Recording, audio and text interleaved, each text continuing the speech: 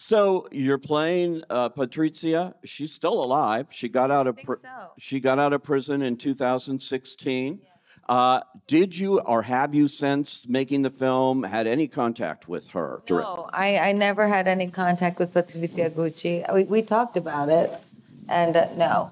Uh, I, I read a, a lot about her. I read everything that I could possibly find, uh, mostly exposition about her. I tried to find mostly the facts only, things that were not colored by any thinking, so that I could form an opinion of my own.